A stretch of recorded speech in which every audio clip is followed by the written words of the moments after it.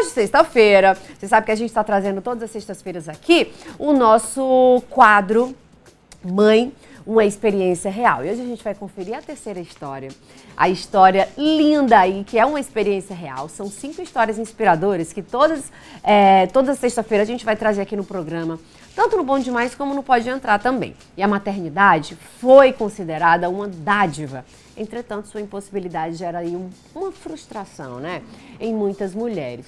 O que pode ser revertido em alguns casos através da fertilização. Foi através desse método que a tabeliã pública Rafaela Brito concedeu seu milagre à pequena Esther. Ai, que linda! Vamos ver? Solta aí.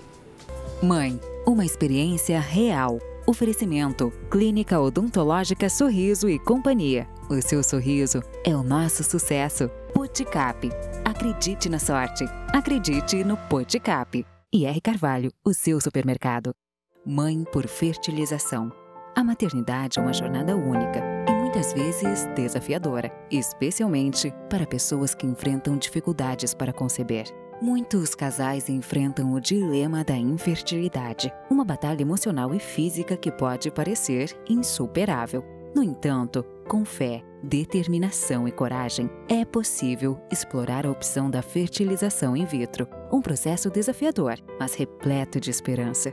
Para Rafaela Brito, que alimentava o desejo ardente de ser mãe, após oito anos de espera, concebeu a pequena, amada e esperada Esther, que hoje tem 10 meses de vida. A história de Rafaela é mais do que uma narrativa pessoal. É um testemunho de fé, perseverança, amor inabalável e a maravilha da fertilidade moderna. Sua jornada inspira. Afinal, onde há esperança, há possibilidade. Então a minha, minha caminhada né, rumo à maternidade, ela foi bem longa, bem árdua.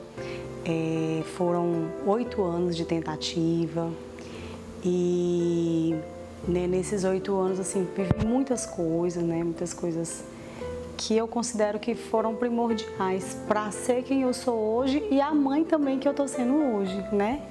Porque eu acredito que tudo tem um propósito tudo tem um motivo e, e a pergunta nunca é o porquê, mas para quê, né? Assim, assim que eu casei, o meu esposo já foi diagnosticado com um problema de baixa contagem de esperma, enfim. Aí chegou a fazer uma cirurgia, melhorou, depois ficou, caiu novamente, né, as, a, as taxas.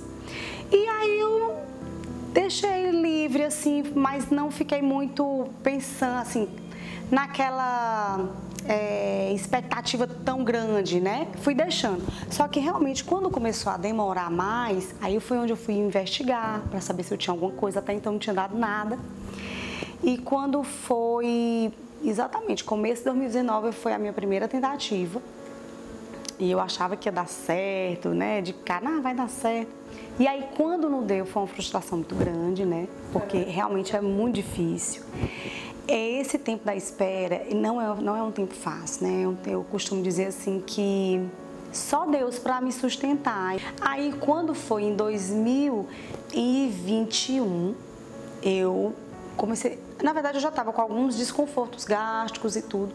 Aí eu fui fazer um, umas investigações, aí foi onde eu fui diagnosticada com endometriose. Mas uma endometriose que, segundo a médica, não era passível ainda de cirurgia, era inicial, algo que estava no começo, não sei, não sei muitos termos técnicos, mas não foi passível de cirurgia, mas o que a, a orientação dela foi, eu tenho dois caminhos, ou você vai tomar anticoncepcional ou você vai para uma fertilização. Aí foi nesse ponto que eu entendi, Deus está me mandando, porque, entendeu?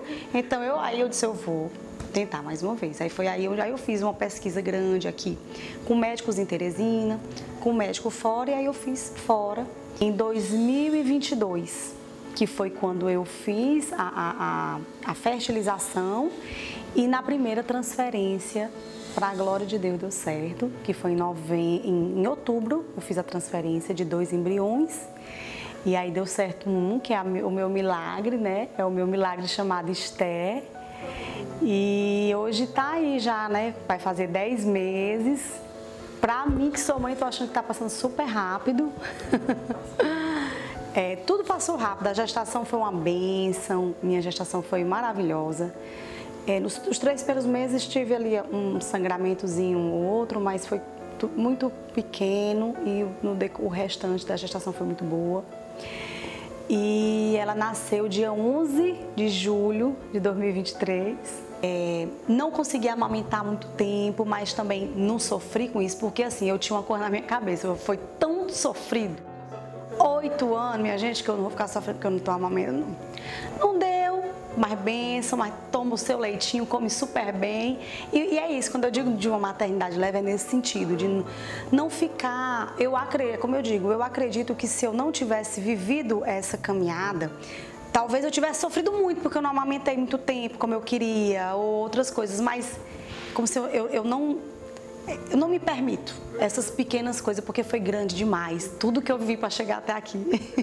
o que eu mais orei e pedi foi o que ela veio, saudável, porque eu creio que com um filho saudável tudo fica né, mais fácil. Deus me abençoou né, grandemente.